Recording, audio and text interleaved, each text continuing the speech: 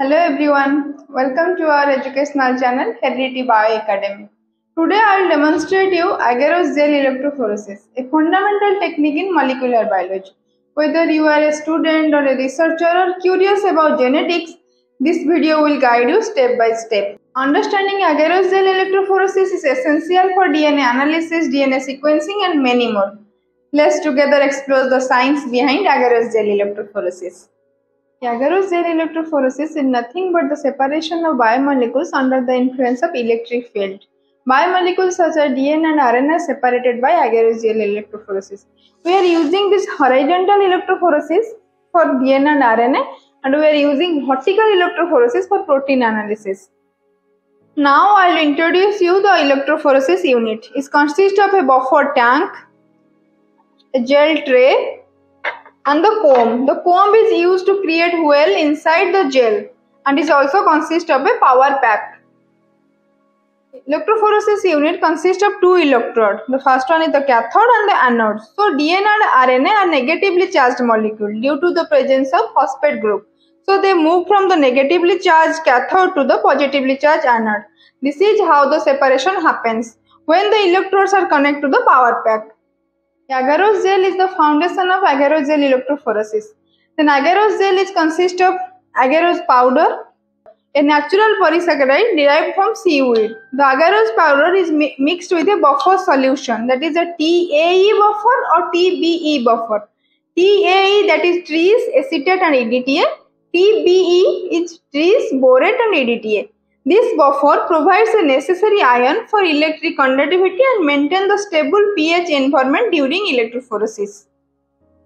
Now I will show you how to prepare 1% of agarose gel. For that we need 100 ml of 1 cross TAE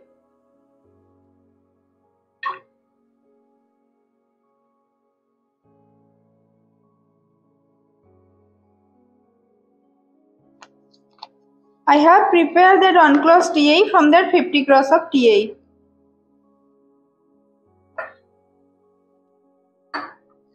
For 1% of agarose gel, we will take 1 gram of agarose powder and we will add it in the 100 ml of 1 cross TAE.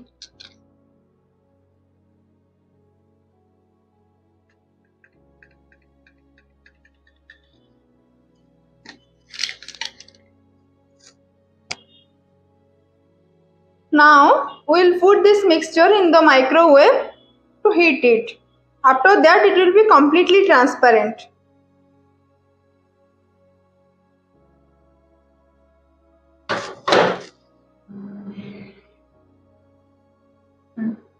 Now you can see this mi- mixture, it's completely transparent.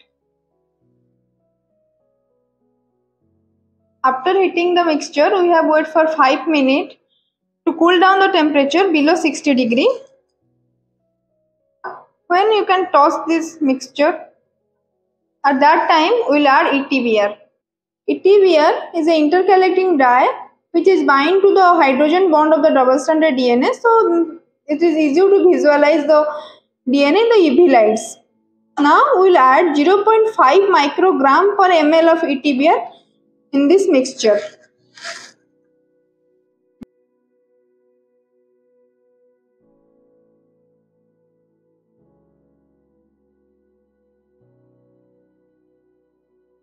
I have mixed it.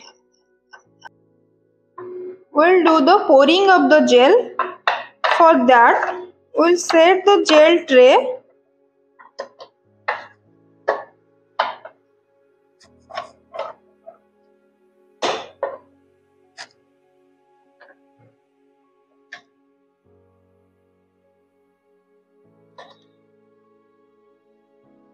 I have poured the agarose gel in the tray.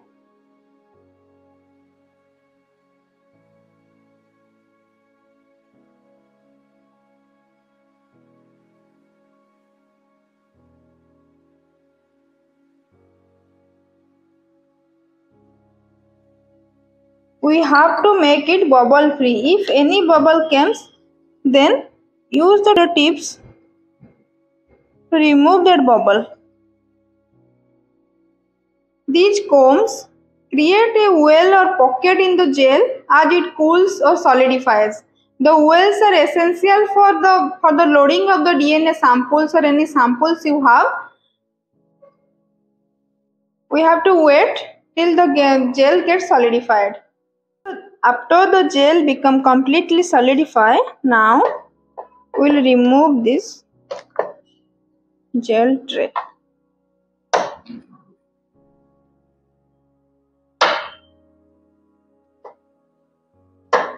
We will put this gel tray to the buffer tank.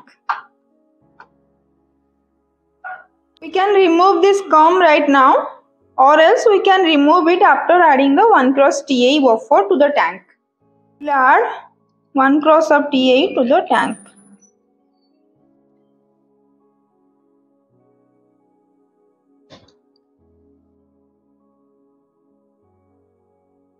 Now I will remove this comb.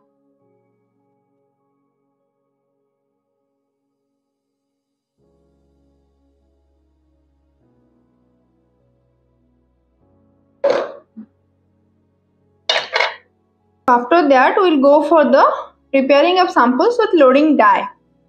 Before loading the samples into the agarose gel, it is essential to prepare them appropriately.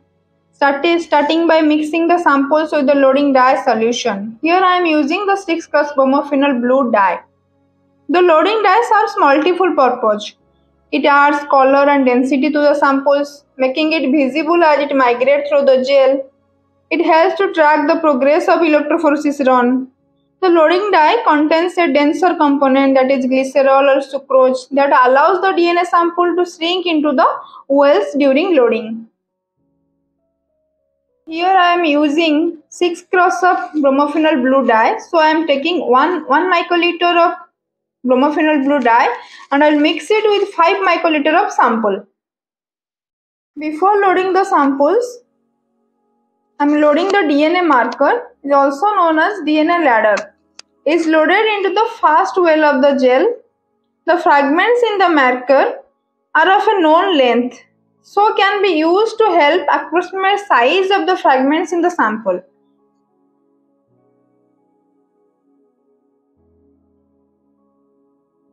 The prepared DNA samples are then pipetted into the remaining wells of the gel.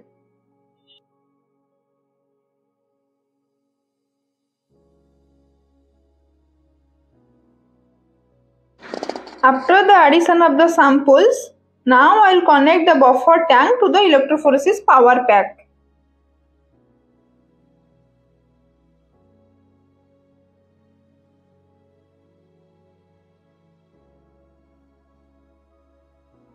Electrophoresis is conducted at voltage around 70 to 100 volts.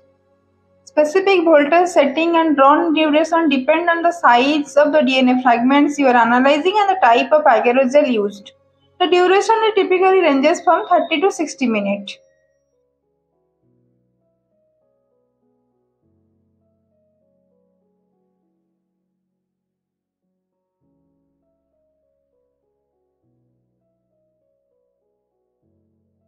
Here you can see the bubbles are coming. That means our electrophoresis has been started. Thank you for watching Heredity Academy YouTube channel. Please do like, share and subscribe our channel for more informative videos. Thank you.